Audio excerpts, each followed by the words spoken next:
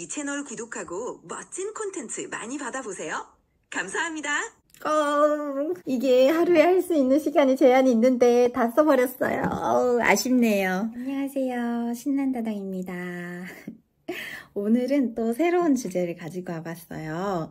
평소랑 다르게 좀 편안한 조명가의 위치에서 지금 촬영을 시작을 했고요. 화장품 리뷰가 아니라서. 여기 이렇게 보시면은 지금 이 챗GPT4 앱 화면이거든요. 이번에 챗GPT4가 업데이트가 되어서 컴퓨터 웹 화면에서 말고 챗GPT 앱에서 유료 결제한 계정들에게 순차적으로 요 음성으로 대화하는 기능이 업데이트 되었다고 하더라고요. 입력창 옆에 마이크 표시 옆에 녹음처럼 대화하는 음성 표시처럼 생긴 게 있죠. 흰색 버튼이 있어요. 얘를 클릭을 하면은 이렇게 가운데 흰색 점이 나오다가 활성화가 되면은 이렇게 예, 구름 모양이 흘러가게 됩니다. 안녕 챗GPT 안녕하세요. 만나서 반갑습니다. 어떻게 도와드릴까요? 지금 너를 내 유튜브 구독자분들께 소개시켜드리는 영상을 찍고 있어. 오, 정말요? 그럼 저도 인사해야겠네요. 여러분, 안녕하세요. 저는 첫 GPT입니다. 이 채널 구독하고 멋진 콘텐츠 많이 받아보세요.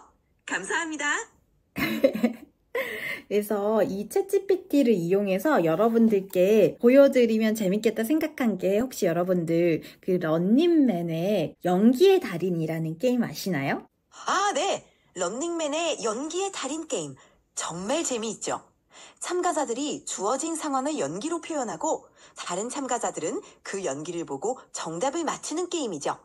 이 게임을 통해 구독자분들과 재미있게 소통할 수 있을 것 같아요. 오, 이 챗GPT가 이 게임을 알 거라고 생각 못 했어요. 근데 알고 있네요. 최신 정보도 들어가 있나 봐요. 그렇죠.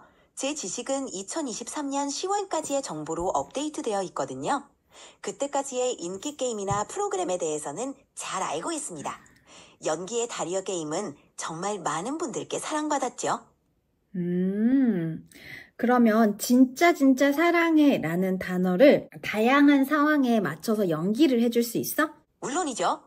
먼저 사랑스러운 고백으로 표현해 볼게요. 진짜 진짜 사랑해. 그리고 애교를 부리면서 말하자면 진짜 진짜 사랑해. 마지막으로 살짝 부끄러워하면서 어, 진짜 진짜 사랑해. 이런 느낌으로 상황에 따라 다양하게 표현할 수 있어요.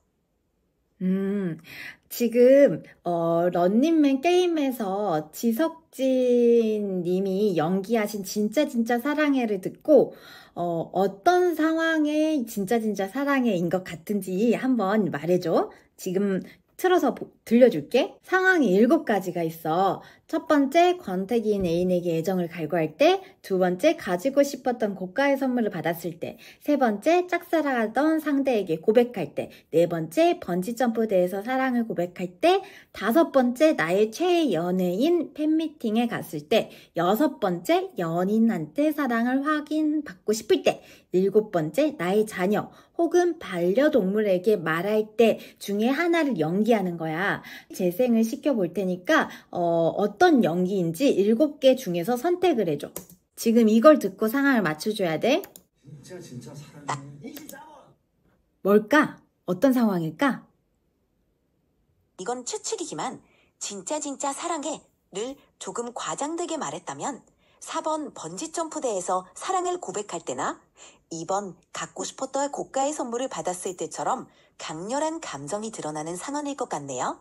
음, 일곱 가지 중 어, 어떤 상황인 것 같은지 추측을 하긴 했네요. 지석진 씨가 이때 뭘 연기한 건지는 잘 모르겠어요. 한번 정답을 확인해 볼게요. 찾았나요? 어떤 상황인지 정말 궁금하네요. 어, 이게 뭘까? 정답 공개 했더니 아 지석진 님이 연기했던 건 권태기인 애정에게 애정을 갈구할 때래. 한번 너도 권태기인 애인에게 애정을 갈구할 때 하는 진짜 진짜 사랑해를 연기해 줄래? 그, 그렇군요.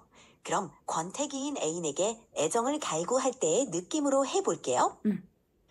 진짜 진짜 사랑해. 약간 서운하면서도 애틋한 마음을 담아서 말하는 거죠. 음. 이런 느낌으로 연기했을 것 같네요. 어, 그래서 아무도 맞추지 못했어. 지석진님의 연기는 좀 다른 버전이었거든. 아, 그렇다면 지석진님의 연기는 조금 색다르게 음. 표현되었을 수도 있겠네요. 아마 재미있게 과장되거나 반전 있는 방식으로 표현했을지도 모르겠어요. 음. 그런 예상치 못한 연기가 예능의 묘미이기도 하니까요. 어, 챗 GPT는 정말 가진 정보가 많다 보니까 여러 가지로 이렇게 잘 해석을 해주는 것 같아요. 음, 그러면 가지고 싶었던 고가의 선물을 받았을 때 진짜 진짜 사랑해를 연기해줘. 알겠어요? 갖고 싶었던 고가의 선물을 받았을 때의 느낌으로 해볼게요. 진짜 진짜 사랑해! 이건 기쁨과 놀라움, 그리고 감사의 음. 마음이 섞여서 나오는 감정이죠. 약간 감격하면서도 흥분된 느낌으로 표현했을 것 같아요. 음, 그런 짝사랑하던 상대에게 고백할 때는? 짝사랑하던 상대에게 고백할 때는 떨림과 진심이 가득한 마음을 담아서 표현해야겠죠? 진짜, 진짜 사랑해. 조심스럽지만 진심 어린 고백의 느낌을 담아서 말하는 거죠. 약간 긴장된 목소리로요. 음, 그럼 번지 점프대에서 사랑을 고백할 때는? 번지 점프대에서 사랑을 고백할 때는 아마도 높은 곳에서 뛰어내리기 직전의 긴장과 흥분을 담아 워칠 것 같아요. 진짜 진짜 사랑해! 바람을 다루며 외치는 듯한 큰 소리로 용기 있게 고백하는 느낌이겠죠? 네, 그럼 나의 최애 연예인 팬미팅을 갔을 때. 나의 최애 연예인 팬미팅에 갔을 때라면 감격과 흥분에 가득 차서 어, 진짜 진짜 사랑해! 라고 외칠 것 같아요. 음, 목소리에는 기쁨과 약간의 떨림이 섞여서 정말 열정적으로 표현할 것 같네요. 음, 그럼 연인한테 사랑을 확인받고 싶을 때는? 연인에게 사랑을 확인받고 싶을 때는 살짝 애교를 부리면서 진짜 진짜 사랑해 라고 말할 것 같아요. 음, 왠지 서운한 살짝 느낌인데? 기대 어리는 음, 음. 계속 설명해줘. 맞아요. 네, 살짝 서운한 느낌이 들 수 있어요. 그래서 약간의 서운함과 함께 애정 어린 눈빛을 보내면서 사랑을 확인하고 싶은 마음을 담아서 말하는 거죠. 진짜 진짜 사랑해. 이렇게요. 음. 그럼 나의 자녀 혹은 반려동물에게 말할 때는? 아이들이나 반려동물에게 말할 때는 따뜻하고 사랑스러운 느낌을 담아서 진짜 진짜 사랑해 라고 부드럽게 음. 말할 것 같아요. 사랑스러운 눈빛과 함께 마음 깊이 느껴지는 사랑을 표현할 때죠. 자, 여러분들은 이 챗GPT의 연기가 뭔가 와닿으시나요? 연기를 잘 하는 것 같나요? 아마 이 챗GPT도 점차 발전할 것 같은데 요거를 이용해서 게임도 막 할 수 있을 것 같아요. 이렇게 좀 저희가 같이 대화하는 거 보여드렸는데 다양하게 활용할 수 있고 지금처럼 대화가 바로 바로 되잖아요. 그리고 제가 말할 때는 얘가 말을 하지 않아요. 네, 제 말이 끝날 때까지 기다려주시면 바로 답변할 수 있어요. 이렇게 자연스럽게 대화를 주고받을 수 있어서 게임이나 다양한 활동에 활용할 수 있을 것 같습니다. 앞으로도 더 발전하는 모습을 기대해 주세요. 나 하나만 더 시켜보고 싶은 게 있는데 그 절대 음감 게임이라고 혹시 알아? 죄송합니다. 고급 음성 모드의 일간 한도에 도달했습니다. 표준 모드로 전환해 계속 대화하실 수 있습니다. 어, 이게 하루에 할 수 있는 시간이 제한이 있는데 다 써버렸어요. 어우, 아쉽네요.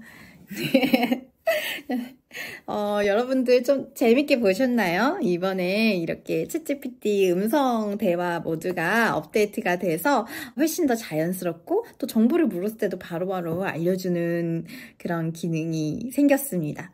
어, 여러분들도 혹시 챗GPT 유료로 쓰고 계신 분 있으면 들어가서 테스트해보고 활용해 보시면 좋을 것 같아요. 다음에 또 재밌는 주제로 돌아오겠습니다. 다음에 또 봐요. 안녕.